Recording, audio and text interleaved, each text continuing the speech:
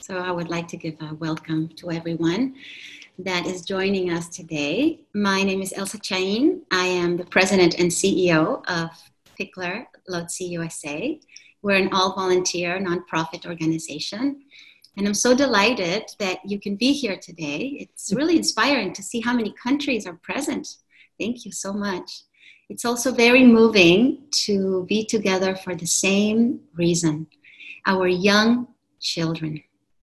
More than ever, we're coming together with the most altruistic purpose offering our babies a respectful upbringing. And we are most grateful. Today, our top international parenting experts will share a significant moment in their lives that opened up their paths regarding Dr. Pikler, Magda Gerber, and Rudolf Steiner. Afterwards, we will engage in dialogue with you, hoping to be able to answer your questions. This, I believe, will create an atmosphere of warmth and nurturance, and we sure need this at this time. I will share my personal experience after I introduce our speakers. Ute Strub attended the first ever Waldorf school in Stuttgart, and she worked with yeah. Emmi Pikler and also met Magda Gerber, and she also met Janet and Lisa. Ute is one of my best friends in the whole wide world and a master play expert. When she came to visit me last year, she stayed here uh, for the summer, she asked to please sleep outdoors. And I said, What? I don't have a bed outdoors. And what about the animals? We live in a canyon, so there are mountain lions and coyotes. and she, you know what she said? Gently, she says, Oh, they are more afraid of us than we are of them. So every morning she would wake up and I asked, How was it? Oh, lovely. Oh, wonderful. It was wonderful. And she felt invigorated. So now that's a true Pikler baby. Lisa Sunbury Gerber is an infant toddler specialist and RIE associate who studied with Magda Gerber at the original home of RIE in Silver Lake, California. And it was precisely there where I met Lisa in 2001 when she was a co trainer of the RIE Foundation course that I took at Magda Gerber's home. And I still remember her kindness in guiding us. And I was thinking, wow, how special it was to meet someone living with Magda Gerber. I was sort of starstruck. And in preparation for this webinar, I had the privilege of meeting your beautiful daughter, Lisa. Thank you for being here. That same year, in 2001, I met Janet Lansbury while she was attending a parent infant class, also in Magda Gerber's home, with her own baby her youngest. And I thought, wow, what a beautiful mother. And she is, both inside and out. Janet is a best selling author, and her respectful parenting advice is quoted and shared by millions of readers worldwide. Thank you, Janet, for being here. We will lastly hear from Pia, founder of Beginning Well, whom we have partnered with to offer these webinars. Pia is a parenting counselor, author, and social entrepreneur. She attended a Waldorf school in Germany for 13 years and now serves on the board of WECAN, the Waldorf Early Childhood Association of North America, the same organization that published her book. They will all share a personal story that inspired them who they are now, supporting us during these challenging times. So here's my story. My mothering journey uh, that turned into a professional one began 21 years ago while pregnant with my son Leonardo and after reading Magda Gerber's and Emmi Pikler's books. Upon Leonardo's birth, I contacted the RIE associate in my area, and that was Harry Grebler, who actually guided me in the direction of where I am today. So thank you, Harry, if you're watching. She directed me to Elizabeth Memel, Babette, as my young son lovingly called her, and with whom we began parent infant guidance classes at RIE. So when Leonardo was almost two and already verbal, I found him with scissors in hand, cutting our new shades in the living room. Of course, I was shocked and I didn't want to be reactive. So I just asked him, you know, what are you doing? And he responded, I had nothing to cut. And so I didn't want to yell at him or shame him. So I paused and, like many of you do when you call Lisa and Janet or Ute or Pia, I called Elizabeth Memel and asked her what I needed to do in this moment. And so she so wisely said to me, Whose responsibility was it to have the scissors available? well, mine, of course. So, what a lesson, right? So, my hands could have become violent in that moment and grabbing the scissors out of his hand. But instead, I offered Leonardo a simple, open hand gesture to ask him for the scissors and assumed my responsibility in making sure that the space where he played was 100% safe. So, how important are our hands? Dr. Pikler writes in her book, Peaceful Babies, Contented Mothers Hands are everything for the infant. The hands are the person, the world. That's in page 20 of the Sensory Awareness Bulletin. You can see all my, where I take my notes.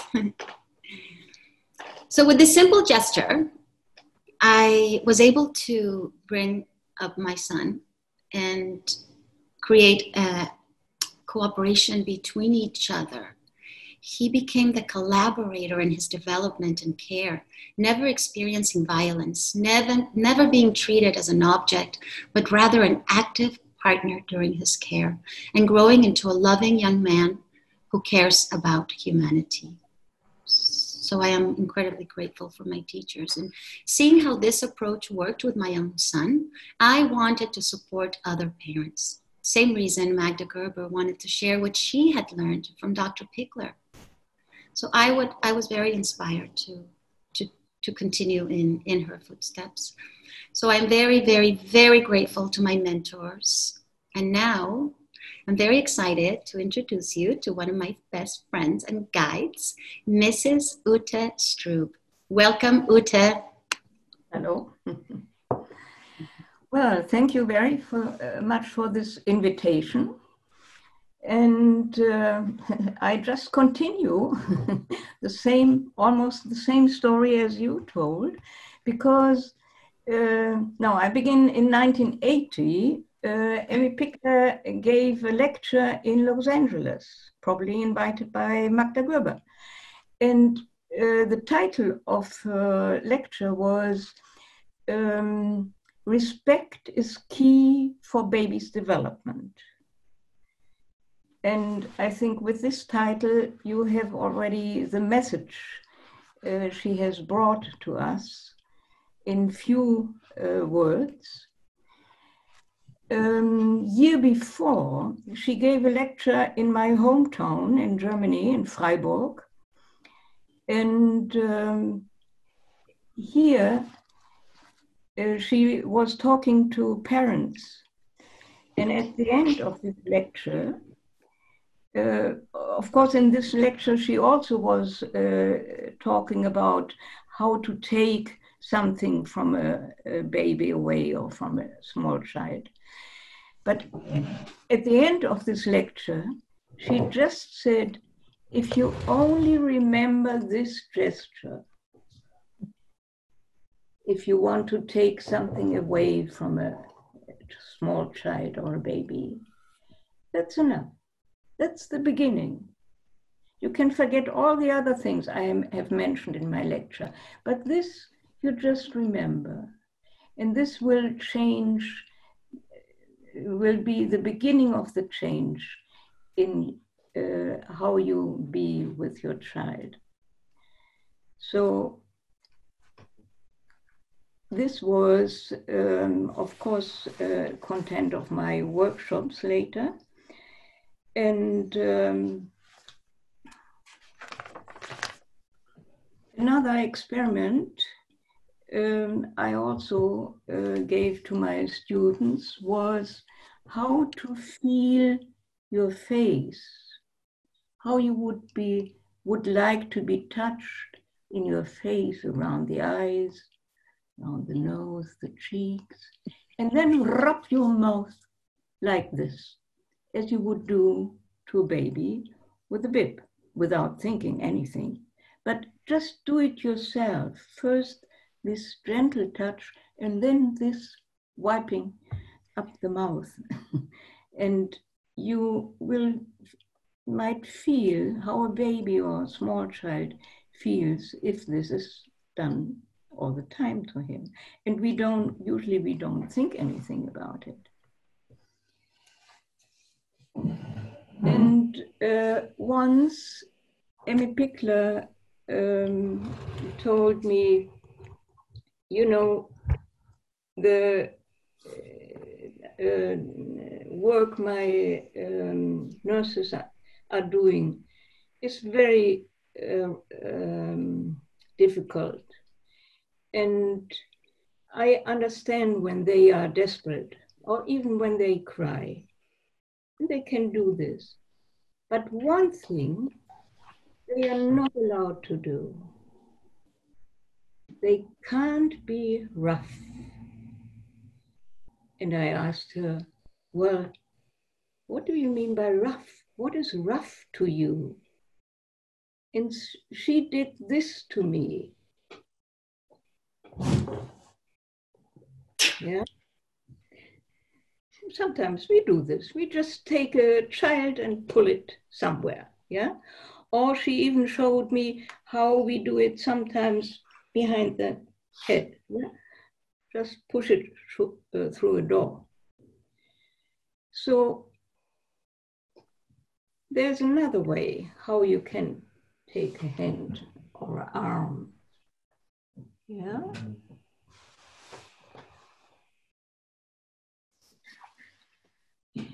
And I would uh, advise the audience if uh, you have a partner at home, you can do this uh, to your partner or the, your partner to you, and you do the one hand this way, and the other arm, you do it the soft way. And then you close your eyes and let your hand arm hang and just feel both of your arms, of your hands. How do they feel? I guess you will be surprised how you feel the difference. At least I do this in all my seminars, so my students know the difference and just try it out. It might be worthwhile. Well, now I like to introduce Janet. Would you like to talk now? I would. Ute, thank you so much. That was beautiful the way you described it. I could feel your respect in the whole way that you presented that. It was was lovely. And I want to thank Elsa and Pia and everyone for being here and Elsa and Pia for inviting me. It was such a lovely uh, surprised to be invited to come speak with you and I'm, I'm honored and grateful and excited to be collaborating with you. So thank you for this opportunity.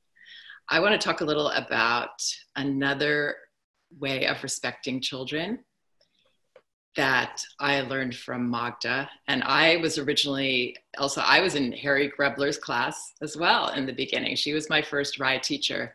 And she saw how in love I was, deeply in love with everything that was going on there and how I needed to know every single bit and try to do it exactly right and uh, being quite perfectionist in the beginning about this. And she encouraged me to go study with Magda and take her uh, what they called then RIE 1, which is the foundations course. And I ended up studying with her for years and getting to work with her.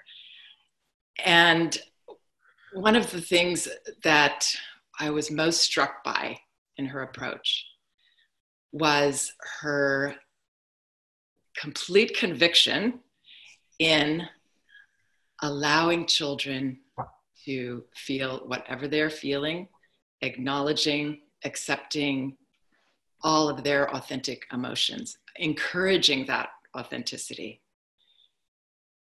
And she had this uh, one of her she made all these bold statements around this she she would say an infant has a right to cry and these things that were were very uh, they they resonated with me but they were so completely different from the way that i was raised which was lovely. And i had a wonderful childhood and i'm you know certainly not abusive or anything like that but uh, if i felt sad that was okay but everyone felt very very sorry for me and pitied me and it made me feel smaller and weaker and and less capable and then there were all these conflict feelings that i don't ever remember having which tells me that i learned to remove those and put those inside myself pretty quickly because i don't i can't even remember a time when i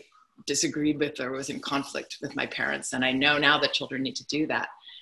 So to hear Magda standing up for uh, all feelings being acceptable, all desires being acceptable, while we also help children limit their behavior around those things.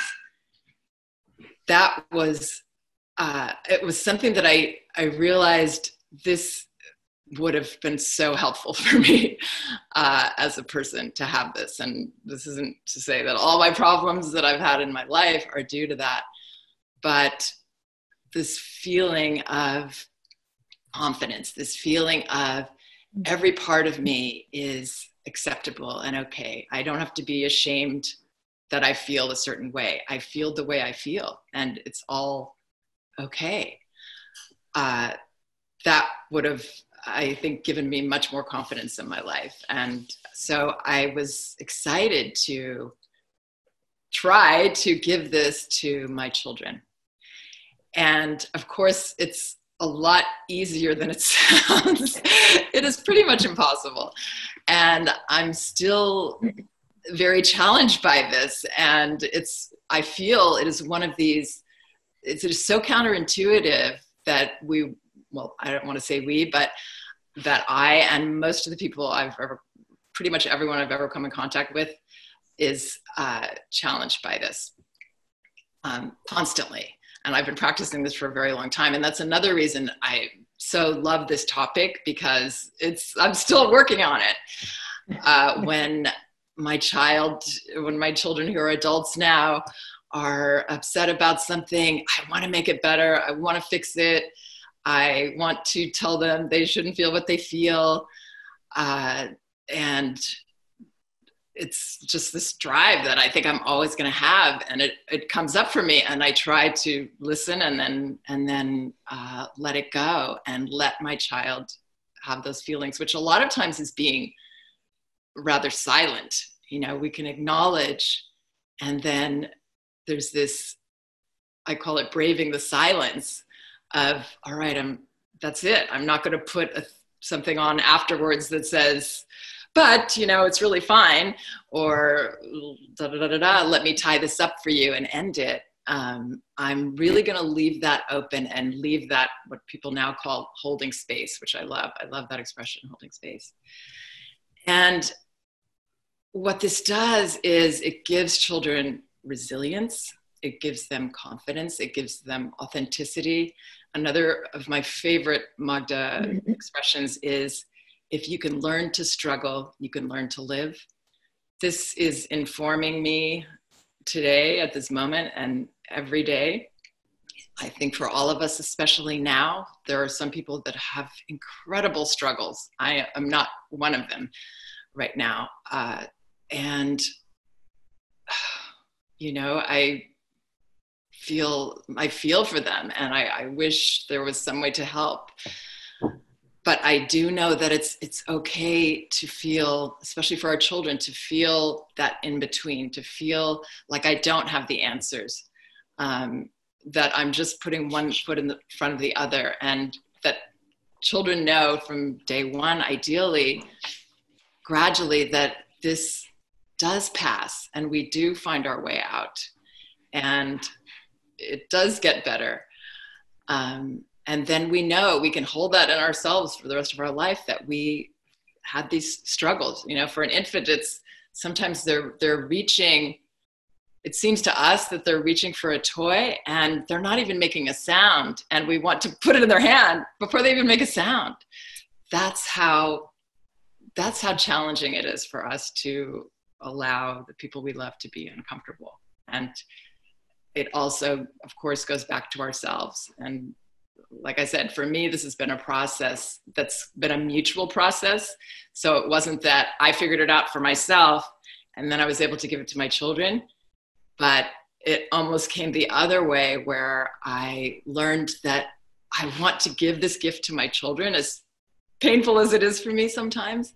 And by doing so realized well hey i need this too. I deserve this too. So it's it's been a process, and uh, I'm it still comes into my daily work with parents because you know again the feelings the that we think that maybe we're allowing they come in all these little mysterious boxes that we don't recognize sometimes. Uh, for example, I was uh, a parent and she said, "Yes, I allow my child to have all the feelings."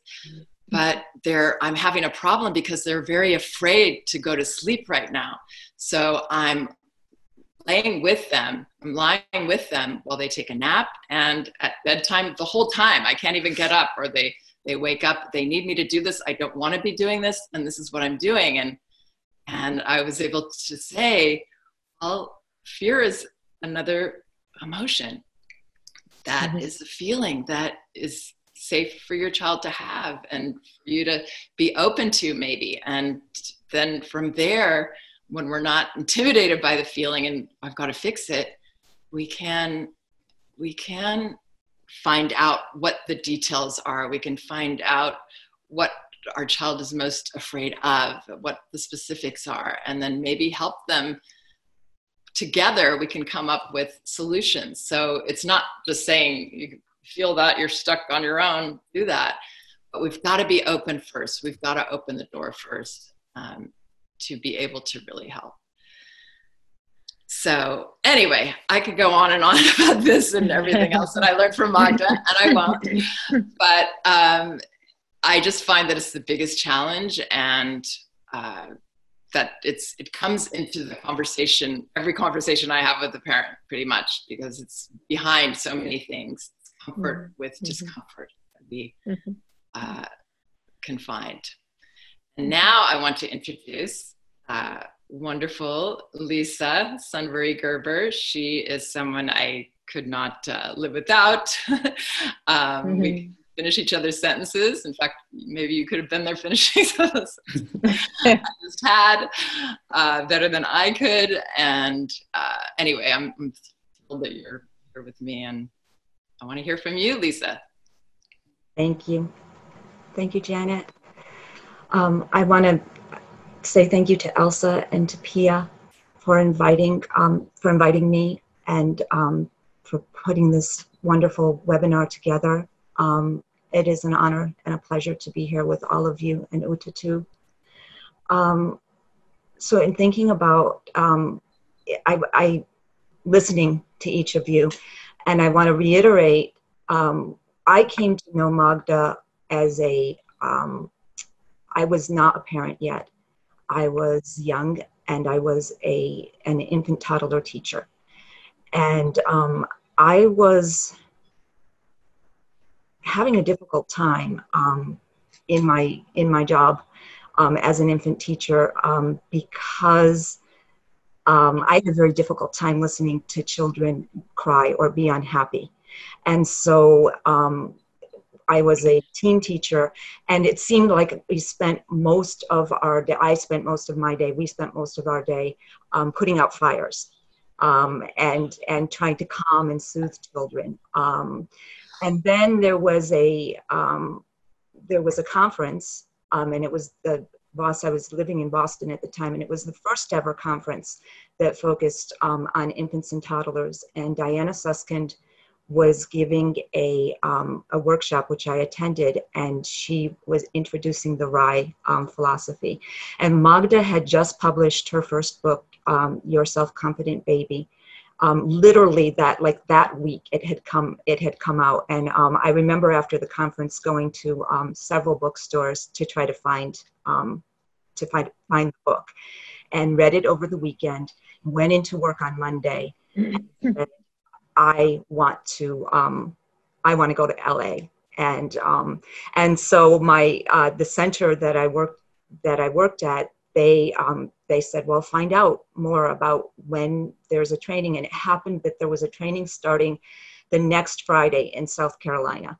Um, and um, our, they they sent me um, with along with another one of my colleagues. Um, we drove all night from Boston to South Carolina to get there to begin the training, and it was life changing for me. It was life changing for me, um, and I thanked my center by promptly going back and resigning and telling them I was moving to LA to study and work with Magda, um, and um, I was fortunate to have that opportunity um, to to actually live at at RIE as the intern and work with her um, I think what she what she offered, um, and then it was many years later um, that I became a parent, um, an adoptive parent to my to my niece. Um, many years later, in fact, she's she's seven years old now, but and I'm and I've been eternally grateful to have had all of those years of um, knowing about RIE, of practicing RIE before having my daughter. Um, because it was under very difficult circumstances. But what I got from Magda, um, there was, and, and it's it's what you were saying, Janet. Um, there was this quality of presence that she had, that she offered um, to children, but that she offered to everyone. Um, and when she was when she was um, with you, and um, it, she made you feel like you were you were the most important nothing nothing and no one was more important than you were when when um, when she was with you. And that's something that she that she offered. And that all the feelings and i had this experience in my i it was called RIE one then which is it's now RIE foundations but i had this experience where we were talking, we were in a group and we were talking, and I was very emotional about something. And I was trying to articulate something, and everyone was trying to help me. Everyone, someone was handing me Kleenex, and someone was trying to finish my sentence. And Magda said, Magda said, Stop. I want to hear what she has to say. And and it I, I, I was struggling. I, ever then all eyes were on me, and I was so uncomfortable because I was not. I hadn't had that experience in my life ever. Um, and Magda said to me, "Just take your time, and and it's okay that you're upset. You'll find what you want to say, and I want to hear it." And um, I had, I just, I had never had that experience in my life ever before. Um, and so then when I had my daughter, um, I had that, I had that um, and and everyone commented on um, in the very beginning i was only um, able to spend an hour a week with her um, during these visits that we had um, surrounded by social workers. And it was it was very uncomfortable. But um, when they put her into my arms she immediately started talking to me. And everyone commented on it. She she just started she just started making sounds and what what um, I brought or tried to bring to to her from the very beginning was that I I'm here and I want to hear what you have to say, um, and um, and the and that has served us um, well to this day. As I as I mentioned, she's seven years old now. But in when I think about this time, the the pand- the pandemic and people in isolation and what can what message I can possibly bring um, that I've learned from from Magda um, and from my studies and practice of RIE um, is is also the not not only that that quality of being presence, but as you said, Janet, that it's it's all it's all okay, it's all acceptable, all feelings, and that when she cried, um, and that she was her own person, right, right there from the get go, right from the beginning, and that when she cried, there wasn't anything for me to do but to be there with her I didn't have to try to fix it. I didn't have to shush her. I didn't try to just to just to be there and and be present for that.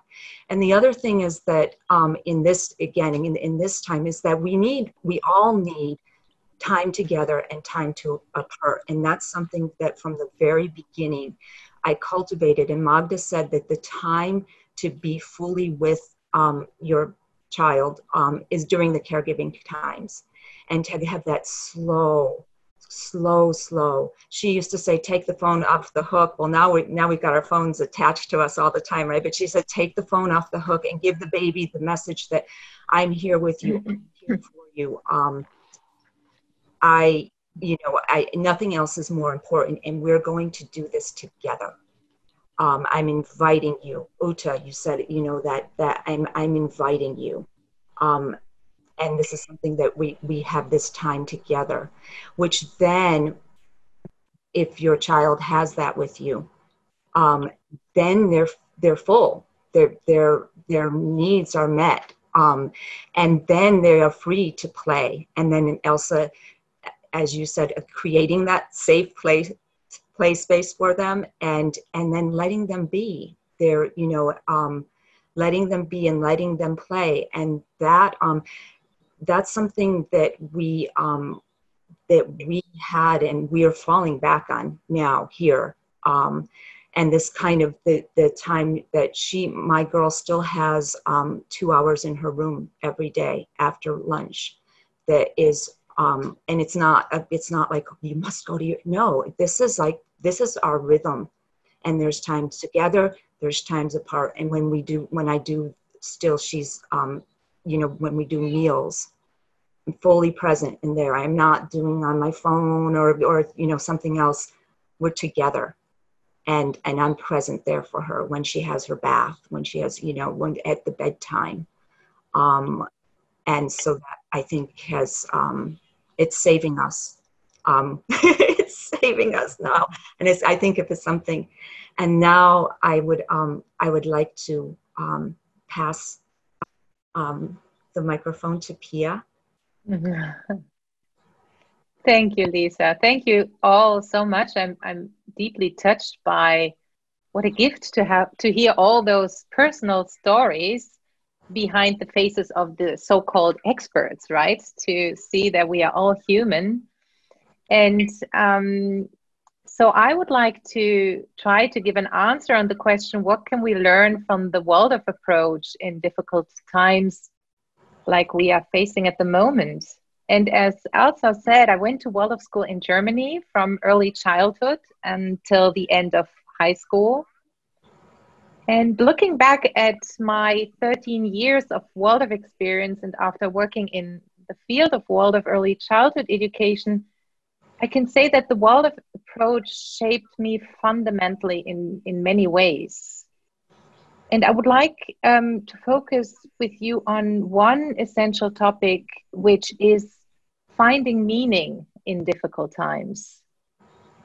And to begin, I would like to share with you a difficult time in my own life. My mother died after a long um, illness when I was 15 years old. And looking back, I was in a kind of trance, couldn't believe what had happened, although I had known intuitively that she would not live long. And at the funeral, all our friends, family members, and uh, acquaintances came to give me their sympathy and honestly, I don't remember a lot of details, but I remember very clearly that I felt totally isolated and that everyone was lost in their own suffering and, and, and sadness. I felt their pain weighing, weighing on me. And suddenly, my Waldorf kindergarten teacher, her name is Elke Maria Rischke, appeared from the crowd I had not seen her for many years, and she hugged me without words. And she hugged me in a way that I felt supported and carried by a deep power. That hug was like a ray of light that nourished me with, with energy. And it was she who wrote me a card sometime later saying that now my mother is always with me, that I don't have to rely on her physical presence anymore, that she can deeply care and support me in every part of my life from where she is right now. And she said something like, You are actually lucky. And honestly, that time I got really angry with her. I thought she had no idea what I was going through. So it took me a few years to understand what she meant, to discover and to perceive what she meant. And what she awakened in me is their perception and the perspective that there is no end of life. And as a Waldorf teacher, she was deeply convinced that we come to this earth more than once, that we have an immortal spirit that lives on, and that we all come here with a calling. Rudolf Steiner, the founder of the Waldorf approach, points out that each child chooses um, his or her family and the right in environment that he or she needs to develop according to his calling. And my kindergarten teacher also told me that I've been brave to pick this path, to choose these family circumstances. She also told me that there must be wonderful tasks coming in my life um, for which I will need the strength and compassion I'm developing through this so called loss. So, this totally new perspective helped me to overcome the loss of my mother, to develop power and motivation during the most difficult time of my life. Of course, it took me a while to get there. But through my kindergarten teacher's trust in my path, in what I will accomplish in my life without any kind of pressure, I felt deeply appreciated and found the confidence and motivation to to search for what's meaningful to me and choose where I want to use my strength for. And I think it is so important to have that experience to know someone who sees your potential to grow, someone who experienced the wholeness of your being. And yesterday I got a Chinese poppy seed pot. I would like to share this with you. Can you all see it? Yes. And when I looked at this beautiful plant, I thought, none of us would ever think, well, I have to tell the seeds how to develop so they can become beautiful poppy flowers. No, we would be all certain that, of course, each seed knows exactly what to do to unfold herself to her fullest, right? So I hope to give my daughter the same gift that my Waldorf kindergarten teacher gave me the gift of seeing her for who she truly is and the trust in her own inner wisdom to come to become herself that is within her. That's what i wanted to share with you. Thank you. Thank you very much dear pia. Thank you everybody for sharing these beautiful stories. Yeah. Very very very moving. And now we would like to invite our, our participants to ask questions to our experts. We may have the answer, we may not, but we'd love to invite you to ask.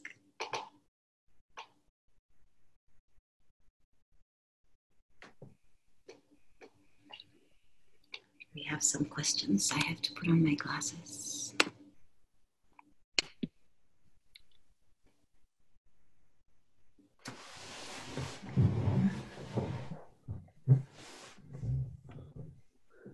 Um, Okay, I have a question. Is there one aspect of the RIE approach or the Pikler pedagogy that you feel lends itself to speaking with children about the current world crises? How much do you think they can handle? Well, I can say uh, that this is that the RIE approach is and Pikler approach are about trust in the child, and this is an area where I believe we can trust children to ask what is bothering them, and that we don't need to assume um, that we can really trust them to their own process of understanding.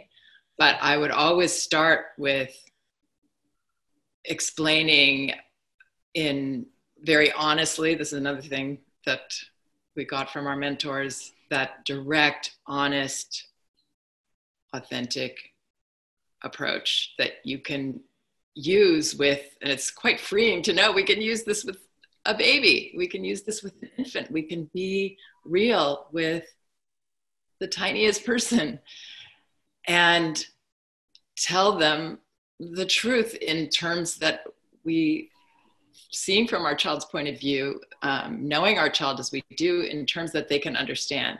And then also i believe it's very important to share our own feelings uh, especially if we have strong feelings or pervasive feelings about this. If we have anxiety then to put it into words for our child so that they're not just because children are reading us so well and feeling sensing what we're feeling that to put it out there rather than have this mysterious why is my parent upset? And is this about me? or who knows what a child might think?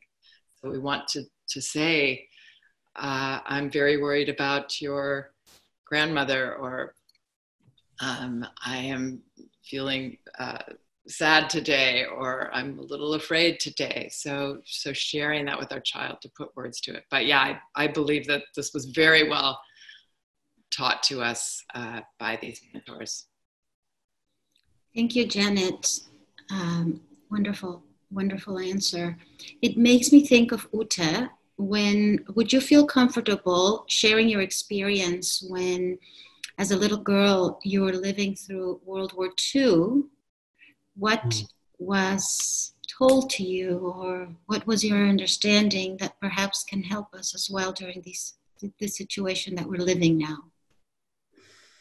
Well uh, i remember i was um, how old was i?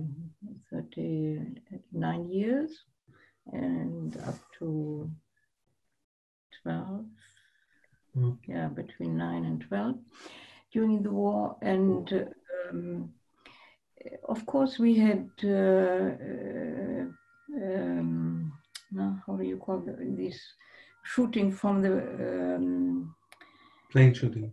Uh, plane from, from the, planes, planes yes, yeah. and and we had my sister and I we had to hide underneath the bushes, um, but and uh, also there was bombing around our house and all the windows went out and uh, but I never uh, was afraid because my parents um, had a wonderful way not uh, to pass anxiousness on to us. They uh, believed so much in, well, if it will hit us, it hits, but uh, otherwise we get through this war. So they uh, didn't uh, pass anxiousness on to us. And uh, they were full of trust into destiny, in our destiny. And uh, so this was, um, well, gave us children a very safe feeling.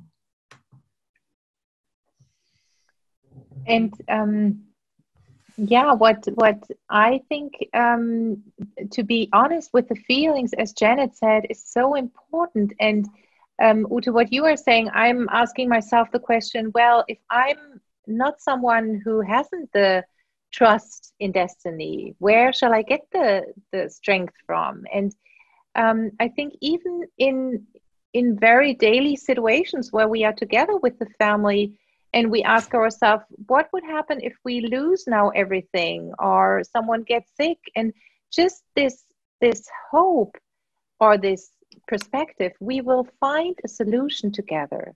We always will find a way um, which helps us to create the next step. It's a little bit like expressing our own emotions. We don't know the right answer yet but we always will find um, solution somehow. Or does it does it make sense that the process is helpful?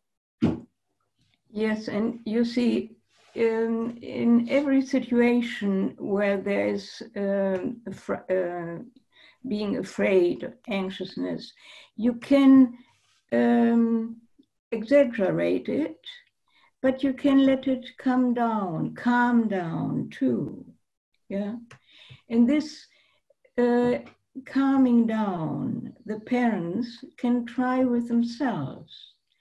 And uh, our body gives us a function which is there in every moment and could calm us down. If we exhale, just ah, you can feel how your shoulders how your shoulder blades, everything goes down. If you put your hands here and allow yourself ah, sigh, can you feel how your chest bone moves downwards and inwards? Ah. And so it can move down to the floor. And if you feel even your feet on the floor and not cramped like this, yeah, but really resting on the floor, you can let this exhaling go down to the floor. And the floor carries us. There's a saying from Miro, the Spanish painter. The painter has to stand with his feet on the floor because the strength comes from the floor.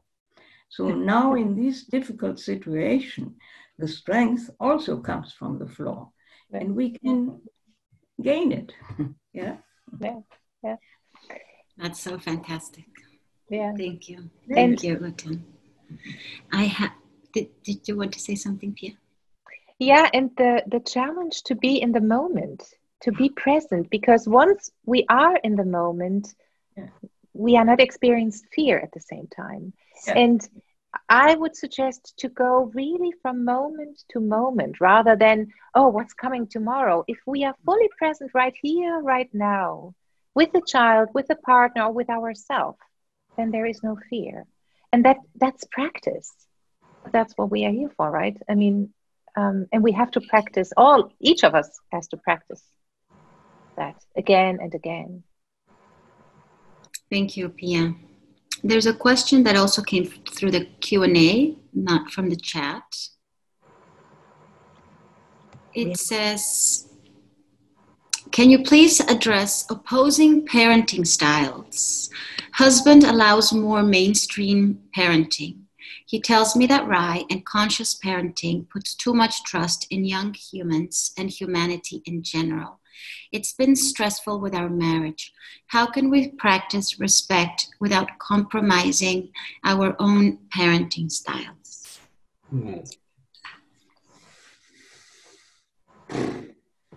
Lovely question. you know, Magda said, um, respect for the world is when you let everyone be who they are.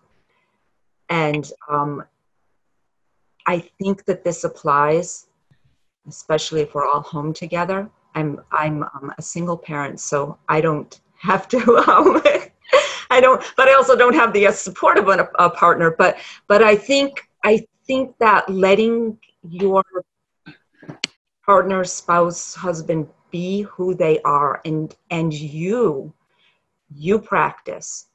Um, and you know it's and children are amazingly um, insightful, flexible, um, resilient, and they're able to adapt to um, from a very young age to a different. And I, I worked with a family once as a nanny, and um, the mom didn't um, want to have the children to have um, TV exposure. And the dad, when he was um, with the children, they were both, they were lovely, hands on parents, um, conscious parents, um, and but they had differences in in opinion with the with the um, screen time. And so um, when mom was in charge there wasn't. When dad was doing breakfast tv was on you know? And they and they agreed to not interfere not not interfere with the other um, family dinners when it was family dinners the tv was off. That was that that was the agreement. But if if it was one or the other parent caring for the children um, to have that respect for each other and not to um, and to try to give to try to give um, to say do it this way or this is the better way that's only going to create um, friction. Your spouse partner um, husband has got to want this himself or herself um, and and to try to force that on someone is not going to work um, and now would not be a good time um, I don't think if you're all stuck at home together um, because of, of um, social dis- distancing and, and um, would not be a time to um, decide, you know, that, oh, we're going to, I'm going to recruit my husband to a whole new way of parenting. Love that answer, Lisa. Thank you very much. And I have one for Janet. It says, Janet, and this this moved me very much as I'm reading this. It, it really moves me because I think. Let me read it and then I'll give you what I think. Janet, what is the best way to change my perspective as a parent and remember to keep my patience? I am losing my patience a lot, and so is my partner, and we are doing a disservice to our child. I want to be a better parent and collaborate with her. What comes to me, it almost makes me, it moves me, almost makes me cry because I think you already are.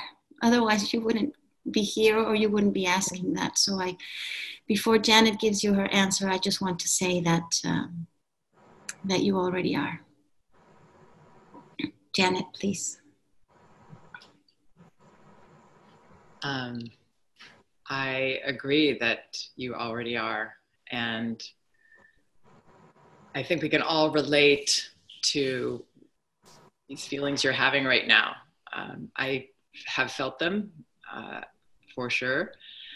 And I, most parents I know have at one time or another. So the first step I would take is to have compassion for yourself, normalize this for yourself, it's not a bad sign that you're a bad parent or going in a terrible direction or that your child is messed up somehow. None of that is true. Uh, as Lisa said, children are so resilient. And if there is something going on now, if you make some changes, maybe your child will adapt readily and move on in a maybe in a healthier direction. Um, I would look at, uh, I actually gave a list of, of responsibilities that we tend to take on as parents that really don't belong to us and drain us and put us at the ed- end of our rope. And these were all, these all came from Magda Gerber and probably most of them from Pikler as well. Uh, things like that we have to be entertaining our child that we're putting energy there, that we have to be the one that makes the feelings better you know what I was talking about in the beginning, what all of us have been talking about, that it's not safe for my child to be feeling mad at me that or sad that I don't want to be with them right now. I need to do these things. Have being able to have those boundaries. Uh, the uh, another one is well, now there's people uh, thinking they need to be their child's teacher now in a different way than they already are as a parent, which is their number one teacher for sure, and that there's more. I have to somehow make learning happen for my child that is the basis of this approach that we're all talking about, these approaches are, are that your child is a self learner. And if we provide the relationship and the environment, our child will, will learn the things they need to learn um, in these early years. And so those are some common responsibilities that, that we take on. I would look and see, am I, my trying to take on these responsibilities? Am I expecting that things are going to be smooth right now? They're not. This is a bumpy, rough time. And if you have more than one child, one of them will be crying or whining. Uh, even if you have one child, there's a good chance they will be sharing the uh, discomfort of today or the collective discomfort of their own personal feelings of I miss this or that or these this grief that we all have. And I think that's underneath. I love this article I read. I can't remember where it was now, but that basically under all of this, maybe what you and your spouse are feeling, your partner are feeling, is grief. It's we're all grieving losses right now a change in life and and we don't know the future uh, so it's confusing and it's scary. Um, so those are two things I would do. I would come, like, really look at your own feelings right now and see if you're finding ways to express them and, and feel the feelings that you have. Um, and also looking at responsibilities that you may be taking on that are actually make your life harder because then your child feels continues to feel dependent on you for this they they really that are really their job to do and work better when they when they do. Does anybody else want to weigh in on that? Ute? ¿Tú no, José? No. no. Okay, here's one. I'm sorry you're going through this. That's the other thing. Yeah. It will pass. And you know what's lovely is I'm getting a lot of comments also that uh, people are feeling lucky to have found this tribe. So it's also lovely um, to feel part of the tribe. And I, I do want you all to know that we are here together collectively going going through something together and also supporting each other. So you can always feel part of this tribe. And I want to thank you for allowing me to be part of your tribe. This one is a very good one for because, well, let me read it before I say anything. Singing is the only way I can change my daughter's diaper. Would this be considered caregiving? She otherwise cries a lot. And I tell you something interesting. I visited the home that Pia and Ute created in Berlin for neglected and abused children. And as you know, both Pia and Ute come from the Waldorf background. But also, Ute studied with Emmi Pikler. So I was expecting to see something more Pikler. However, I found the combination.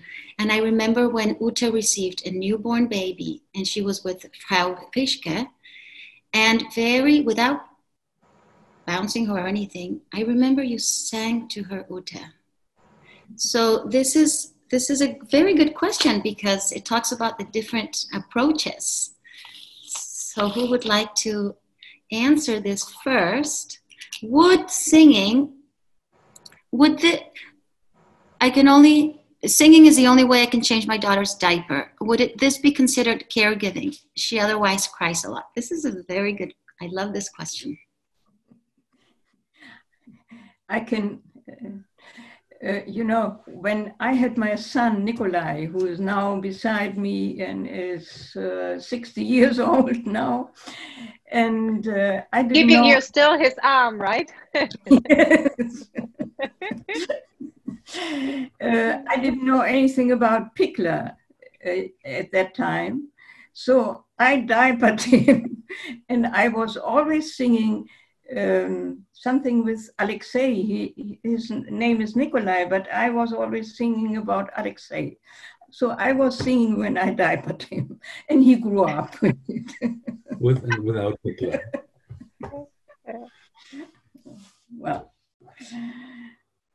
Maybe you could sing, maybe she could sing a song um, about what she's doing. yeah. Ah, lovely. Sing a- I am now taking your Yeah. little leg. Right, engage it. That's that's very lovely. inviting yeah inviting the baby to engage um, in the process and i do think it's caregiving i mean you know different children respond to different things but i but i think if you really want to um, you don't want to distract right magda always said we don't want to distract them we want to invite their participation. So maybe if the singing is um, is soothing to sing a little i don't know why you're crying i want to be with you you know whatever i don't and you know what my daughter my daughter always responded very well to um to singing. Um i th- i think it would be very different if there was a if you were like playing music or you know putting the putting something on the phone to show her. Um but she and and um she's very um, my daughter is very dramatic. Um and as she um, and, si- and and since she was an infant, I always narrated everything for her, um, and and she narrates for herself now, and I love to listen to her. Like I can hear her up. She's in mm-hmm. the room upstairs right now, and I can and she's playing, and I can hear her, and she makes up these operas, right? And it's about what she's doing and what she's thinking and what she's feeling. So yeah, I I think singing is wonderful and fine, and and maybe just try to try to sing about what you're doing and inviting her to mm-hmm. sing along. Yeah. Yeah, lovely. And I would say, um, beside all those pedagogic approaches, Pikler, RIE, and Waldorf, um, it is so important that you you keep your creativity, right? That you find your own ways how to to to bring things across, and perhaps how to make a combination of of everything. But the most important part is that you are authentic, and I think it's a lovely idea to start singing. So don't have too many doubts. Is this now not the appropriate way? Just go with um, with what comes spontaneously to to you, right? Mhm. You I remember learning. Yeah, I remember learning that from from Anna Tardos, the director of the Pikler House. There's a difference between being a caregiver and being a mother. I mean, being a mother, you make up for it with love. It isn't about following a specific uh, choreography or something like that, but really for the mother to tap into her intuition and just let that love flow naturally. I love all these answers. I want to just add something because I guess Yes, it's please. been my little rant on in this uh, webinar about the feelings that I would consider. First of all, everything you all have said, I agree with, and and there's nothing wrong with doing any of that. But I would also consider the feelings as a way of connecting because they are often the best, most authentic and deep way of connecting with someone where you would be open to well, what is it? You're saying hmm yeah you don't like to be on your back maybe? Are you telling me that? Oh wow i hear you. So we are uh, proceeding and we may end up still singing but we are not afraid of the feelings. We're not coming from a place where like i gotta make this go away la la la la la. We're we're uh, just we're connecting through it but we're still connecting with what our child is communicating to us which is what crying is. Hmm. Thank you very much. Uh, this one pertains to the times now, maybe not so much Uh, in California because I think our centers are closed, but This comes from my dear friend from Singapore, and her center is opened. But she says, due to COVID 19, our educators are required to put on their masks while caring for infants and toddlers in the center. And she observes that the children become fearful and confused when they were picked up by educators being covered with the mask. And during the diaper change or the bottle feeding, most babies were crying and yelling, and that's not a usual sight. I visited her center actually. Uh, and they were rejecting the care from the educator. So, what can she do, and how can they comfort these babies? Mm-hmm. I get chills. The only thing I can think of is to acknowledge the. Uh, I mean, I don't have a good answer for that, but I would I would say, wow, you're seeing this on my mouth, and this is different. Usually, I don't have this on my mouth. I'm using this to keep safe, but yeah, that is strange to see this, isn't it? So so putting it out there, putting the truth out there that it is different, it is strange, it is you know, uh, connecting it's so important to acknowledge yeah. And i think if um you know and again and i don't know if it's possible because of the regulations but even to show the baby it's you know to take the mask briefly off and to say i'm still i'm still here because for little ones under the age of two um, and this is why halloween can be difficulty right? They don't mm-hmm. necessarily recognize that it's still the same person behind a behind a mask or behind a so to so to say you know if, if they can you know say acknowledge first yes this is different. You don't you're not used to seeing me with a mask. Um, it might it might be scary whatever. Um, can show it. And i remember you know when i um, i had an experience with my daughter when um, i used to wear glasses but only when i was reading and I usually was only reading when she was napping. And this one day, and she was probably about eight, nine months old, and she had been napping, and I had been reading, and I didn't take my glasses off before I went um, into. To, she woke up from her nap, and I went in to get her, and um, and and she looked at me, and she just she had a, the biggest reaction. And i was like what what is wrong? Right? And then i realized i had the glass and then you know i was able to i was able to show her oh it's you you haven't seen me in the glasses before. It's still me you know here. And and um my my little one is particularly sensitive. But i think i in, in a situation like that that's all you can do is is you know acknowledge yes it's different. Um it's still me here you know and talk keep talking the baby through it. With a gentle tone of voice and mm-hmm. you know one of our colleagues in israel this is very interesting. In israel we have created or in israel they have created masks for these situations that are see-through around the mouth interesting yeah, and then also they recommend that there's video from the Santa Cruz Infant Toddler Center on their Facebook page where the direct the director shares about her mask and talks them through it briefly. So that's that's a resource. I would uh, suggest that uh, uh, the uh, child or baby also gets a mask so he can handle with it, and that when the mother mother puts it on, he sees it not that she comes already with a mask, but she puts it on so he can see it. Yeah. And I wonder if that's something parents can do at home. And and just a safety, infants um, infants should never have masks or access to masks. Um, and but for um, in, in time thinking in play that toddlers um, there can be maybe you know you have stuffed animals you have maybe there can be because children children process things through play too. So i don't know if the dolls or the or the um, there can be little ones for the dolls and the um, and the stuffed animals you know that the children can um, can have available to them.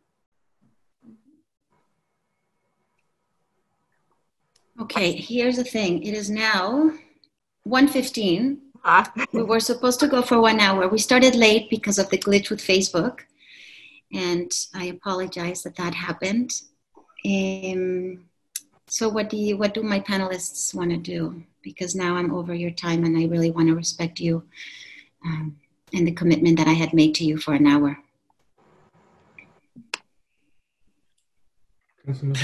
I'm happy, I'm happy and able to be here longer if, if that works for everyone else, but I don't, you know, if others have to go, I respect that.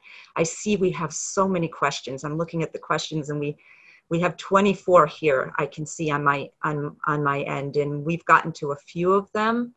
I, I saw one question um, where someone asked if, if they're very new to this, um, uh, to, to ride Pikler, Waldorf, how can they begin? What resources are, would be recommended? Um, I think that might be a, an important one to answer before we before we go. I was thinking of posting on once we share the video to post some of the resources, your websites, the the different websites that sell the material, um, the reading material or videos. Mhm. Yeah, lovely. Mhm. Mhm. Mm. And on those web web pages, you we all have links. So if you start your journey, um, then you will find the right material for for you to get more information. Yes, and some of these questions, I think we've addressed them in previous webinars regarding independent play and self nurturing, taking care of self. So, if you're willing to watch those previous recordings, you will find some uh, wonderful answers to your questions with our uh, expert panelists that have participated in the past webinars.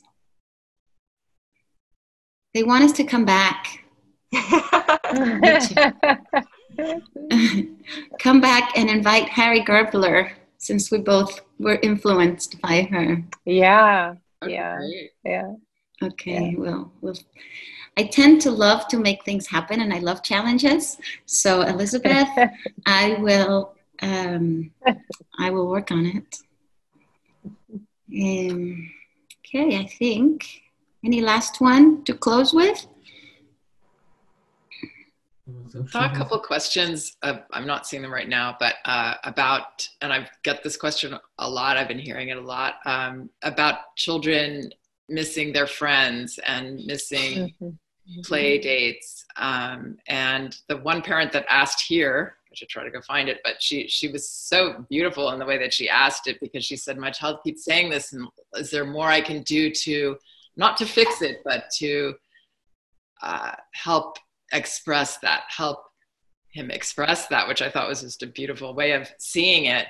Because mostly I know I want to fix it, um, but uh, we can't fix it. And it's a very, very appropriate feeling that we all have to some extent. And for a child to miss their friends, yeah, that's a, again a wonderful way we can. They can feel connected to us for us to just hold that space. And what does that feel like? And you know, who do you miss the most? And and then from that, maybe there is something. You know, maybe we can send them a letter. Maybe we can go have a outdoor distance date. I mean, there may be solutions out of that, but I love that this parent wasn't jumping to the solution. She really wanted to help her child process that feeling, is exactly, exactly most healing thing to do, and gives all the wonderful messages that we want our children to have. And I, I just want to add to that something that um, I've been asked about a lot, and it's right along those lines, Janet. And and I want to caution people. And I know that you had the webinar, which was wonderful, um, Elsa, about um, the screen time. Really caution people, and especially with younger children, children, um, against these kinds of things that we're doing the webinar that we're doing for for adults it, it can be very um, it can be very wonderful and nurturing. For young children um, and i know my daughter has had opportunities to participate um, with friends in these kind of zoom meeting things and has refused. She said it's just blah blah blah mom. It's not like really being with them.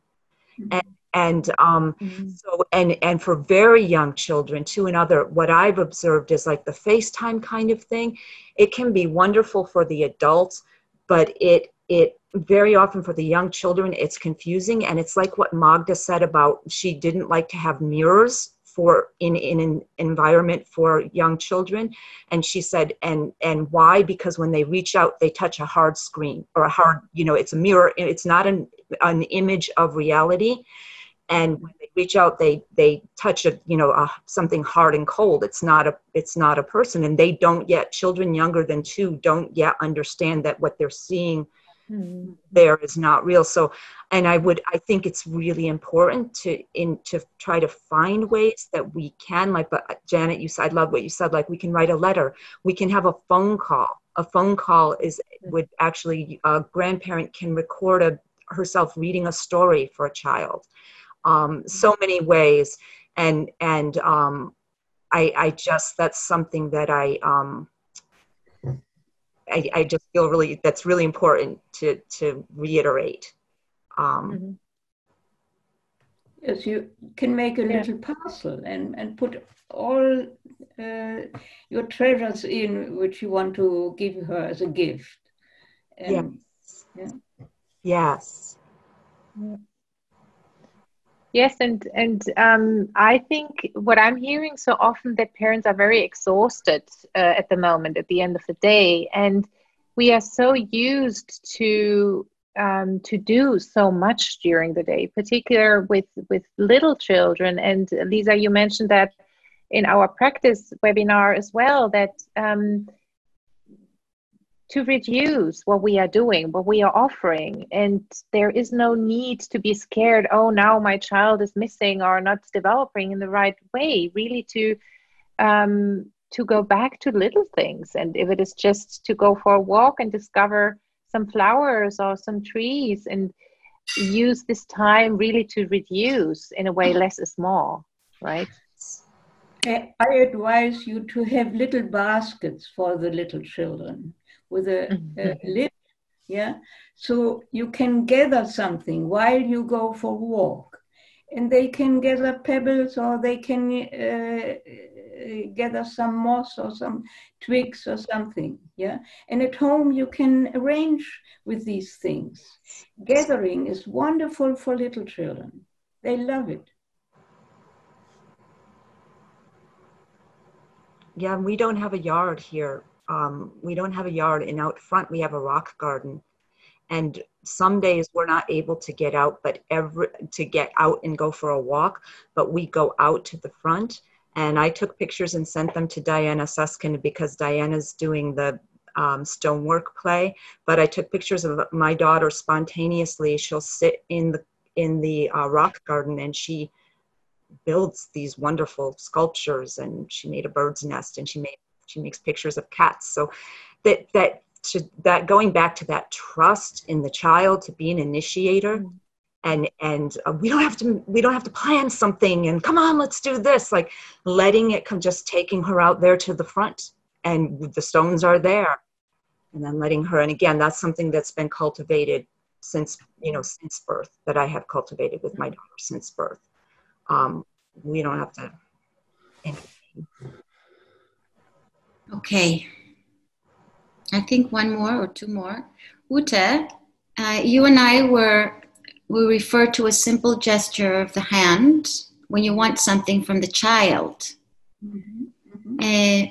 Uh, she's thinking about her four year old. What would you do if the child says no and resisted to hand over the object? Well, depends what kind of object, object she has in her hands, but would you please uh, respond to that?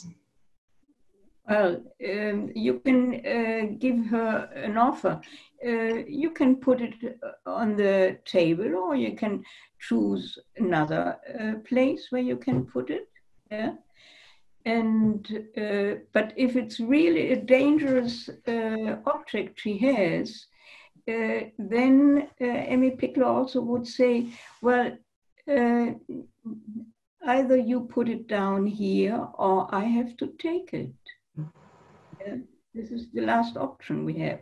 Yeah, but if you offer her different places and maybe she she uh, chooses a third one and not the one you suggested yeah but then she puts it down Thank you. Okay, does anybody have any closing thoughts? Because it's now 125 and I want to I want to leave you all hungry for more so that my panelists want to come back, right, Pia?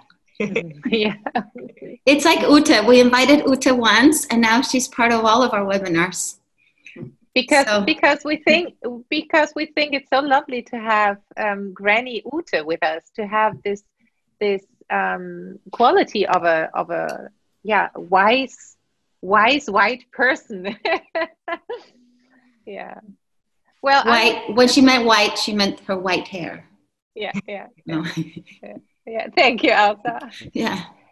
yeah and i'm i'm just deeply thankful that we um meet each other in a way that it's not just this approach this approach this approach that we really bring our wisdom together to share it with you and to um to hear about your wisdom as well so um, write us on facebook about your experiences and your questions so we can include them to our further work and i think it's really the time to to open boundaries because once we keep boundaries, there's always fear involved. And um, if we want to make changes, we have to to work and cooperate together. So that's what I'm deeply thankful for. But Ute, you wanted to mention something? Yeah, I had the idea whether the children could uh, write down the plays, the games they have played in this time, and maybe the parents could write down what kind of arrangement they made for the children, inside or outside, and what they themselves discovered uh, for plays to play together with them. I think so they get active as well, and not only we, but they get active, and we collect this. And well, we can think about what we do with this collection, make a book or something. Yeah. That's a great idea. Nothing. Yeah. So, Lisa, Janet, any closing thoughts? I just have one thought. I, I loved Ute. I loved your uh, response about the taking the toy from the hand.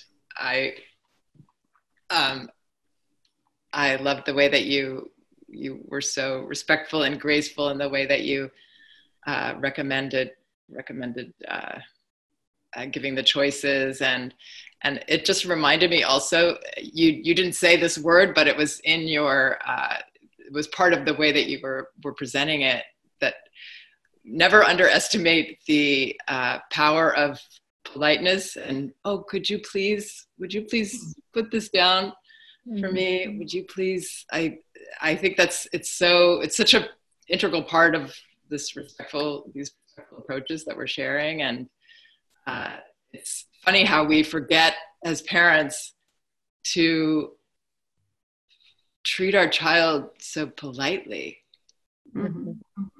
And you know, this was a saying of Emmi Pikler to be polite to a baby and to a small child.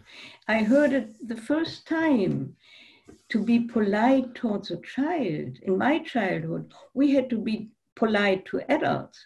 Yeah. And so I was quite astonished when I heard it from her to be polite to a baby. I think Ute um, Magda used to say to treat the baby as an honored guest. And Yeah. yeah, the, yeah. the infant, or and and that it, it starts with infants, um, and then and but and it goes on. Um, yeah, but to speak to the child with um, politeness, kindness, and respect, and not to get into the uh, demanding. Mhm, mhm. And and Rudolf Steiner is saying to receive the child in reverence. So this is something similar, right? Yes, yeah. It reminds me of Janet Gonzalez Mena, when we would do presentations t- together, she would start with one slide that said, There are many paths to the top of the mountain. So here, the three of us, uh, the five of us, are weaving together three, uh, three different paths to get to the top of the mountain. So I think that's beautiful. And somebody to that regard said, "So grateful for your personal sharing." Emmi, Magda, and Rudolf would love to know this is happening globally. Such blessings they gave Yeah. us. Yeah. I love That's that. the wonderful last word. name. That's the last Yeah, word. yeah, So yeah. in honor of childhood, in honor of the great luminaries that have passed on their wisdom to us, in honor of our amazing panelists, we wish you a beautiful rest of your day, morning, evening, and look forward to seeing you again next time. This webinar will be posted by tomorrow. You will have it and we'll be able to share it with you. Thank you, Thank you everybody. all. Thank you, Elsa. Thank you, everybody. Thank you so much. Now I'm bye crying. bye. yeah. Beautiful. Thank you. Thank you. This was special. Thank you. Very special. Thank you all. Yeah. And I I hope this to- was just the beginning. Yes. I hope so. We're going to keep growing our boxes of panelists by the time the pandemic is over. I love it. Take good care, everyone. You Hi, everybody. Bye-bye. Thank you for being there for Bye us. Lots of love. Bye bye. Bye bye. Thank you, everyone. Nobody's going.